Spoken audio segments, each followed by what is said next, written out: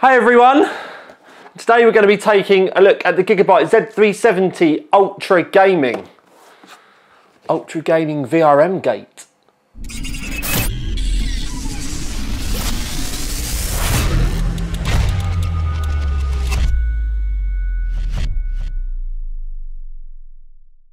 So I have already given you a hint about something that we are going to be talking about with this today and I do want to clear up a few things first.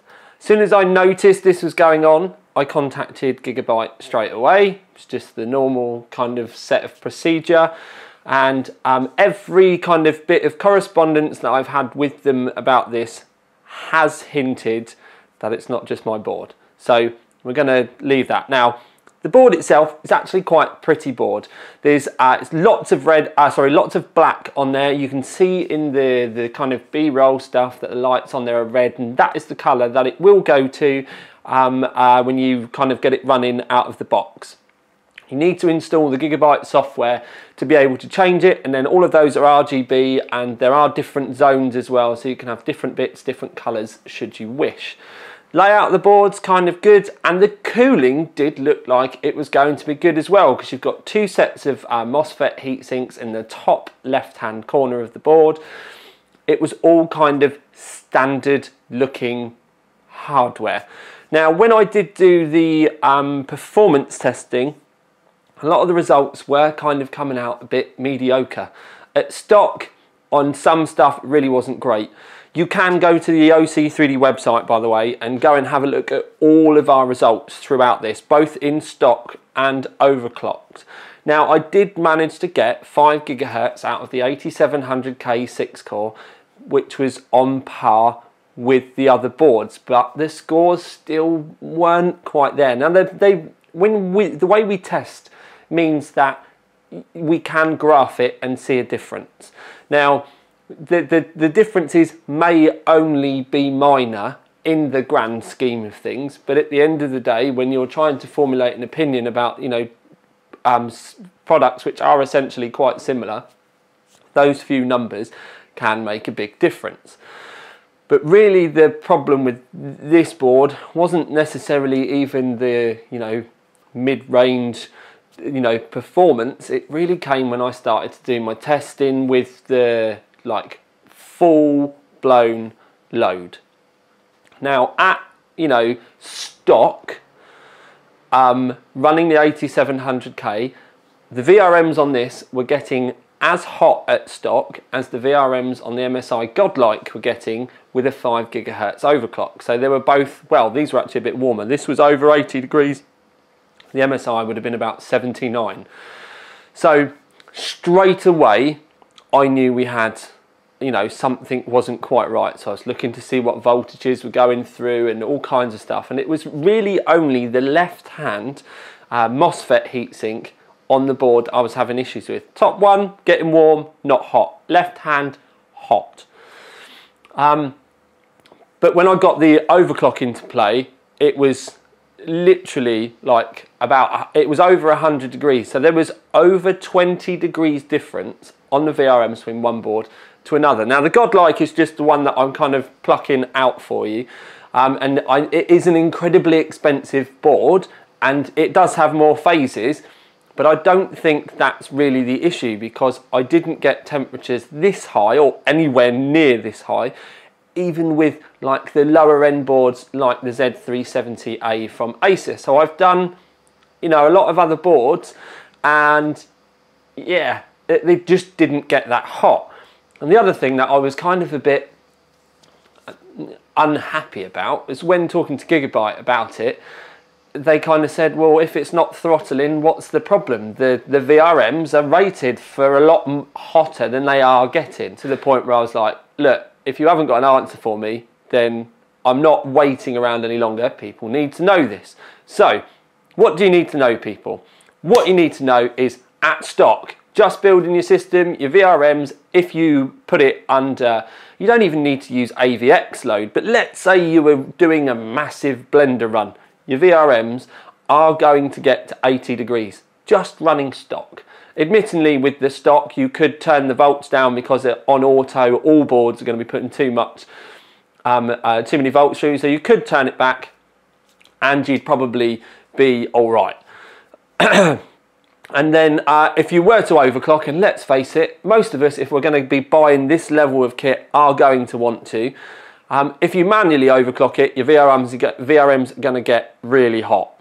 So over 100 degrees. How they didn't start throttling, I don't know. They've probably, and this is the other thing that you guys at home may not understand, is the VRMs do not set the limit that they throttle. The board and the BIOS does. So the, eh, all Gigabyte have to do is set the uh, VRM um, throttling point 10 degrees higher than they think the VRM is going to get, and it won't throttle. And let's face it, 99.9% of you guys out there at home would never even know that they were getting that hot. Do you have hardware info? Is this something you keep an eye on? Do you go to this level when you build yourself a system? I know a lot of you will be saying yes, but most of you out there now will be going, no, that's what we watch your videos for. So it, it, it wasn't right. And then that's without talking about the fact that they've got this really annoying bit of um, um, sort of like software stuff in the BIOS where if it's not happy with your memory clock, it, it, it lowers it. But the problem is, is you can restart your system, and if you, I've got 3866 memory in this at the moment, I um, can get it running 3866 if I do it manually, by the way. But I can start it up, and one boot it will do 3466. The next boot is doing 3700. The next boot it's doing 3333. It, there is nothing about it, and literally you can do that with restarts. So the BIOS needs a lot of work. The um, the and by the BIOS means a lot of work because even the cache levels are lower than the competition. I know a lot of the competition are running higher cache levels, but if you run higher cache levels, yes, it does benchmark better, but that's their job. If they can get it to run better, that's it. But it also makes your overclocking more difficult. So I think they might be running lower cache levels on this to try and make the CPU overclocking better. But then that memory thing combined with the lower cache thing is just making the memory result on this look horrendous. Um, and then even though they've managed to find a way to get the CPU to overclock better by hampering all the memory performance, the VRMs then can't really keep up. Now I don't think that the cooling is at fault because the heat sinks are plenty big enough. Um, if you um, uh, put fans and stuff over it, I mean, why would you want to even in a system like this? We're not going for world records. It should just work. And I, like I said, I don't think the size of the heat sinks are at fault here. It could be something down to VRM switching frequency. It could be something technical like that. But it also could be that the VRMs just aren't that good. And I genuinely am not sure which. All I know is if you are looking at me now to say, should I buy this board? If you want to manually overclock it, I probably wouldn't. No, I'd go and look at one of the others. The uh, the Gigabyte Gaming 7 is a compared to this is a much much better board and there's just something not quite right about this at the moment. And I'd rather be able to tell you what it was, or I'd rather be enthusiastic that it's something really minor. But the problem is, is as I've said, with the correspondence that I've had with Gigabyte about it, they kind of just go quiet all the time. And the problem is, with a person like me that then overthinks that, it's just like, you're not telling me everything that's going on. So, um, you know, I am kind of chucking my toys out the pram about it. But like I said, if you're going to manually overclock it, I, I wouldn't I wouldn't bother. VRM's that hot for too long, and it, okay, in games and normal use, they are never ever going to get that hot. But even with a stock CPU, they're getting as hot as other boards are doing with the, the maximum overclock going on. So something isn't quite right somewhere. And to be honest with you, I've waited long enough because it's been well over, a, it's, it's longer than a week. God, yeah, we're like, we could it be even at the two week mark now, and I've still not even really got anywhere with trying to, you know, um, you know, correspondence with them. It's just, it's just gone all a bit quiet. So the long and short of it is, it's not that great as it is at the moment. Now I don't know whether it will be a BIOS fix. I don't know whether it's a hardware fix. All I do know is, as it arrived to me, it's definitely not right. So maybe go and look, like I said, at the Gaming 7 if you, if you want a gigabyte board. There are obviously other options out there. Um, if you have bought it already, if you're not going to manually overclock, start working your CPU voltages back because that will help with your VRM temps greatly. The, the, the, temp, the voltages that the board will be putting through itself, as with all brands, will be higher than the CPU actually needs because they make profiles up for probably the worst CPU on the planet.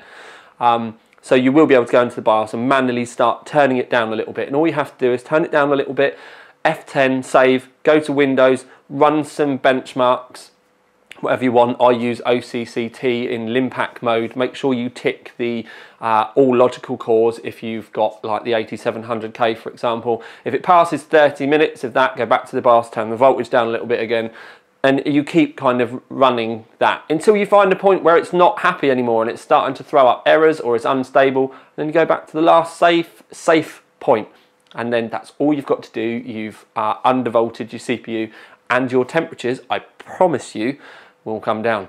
Um, so that's just something, if you have already got it, that's just me kind of trying to help. It will help you get more confident with your system in the long run as well.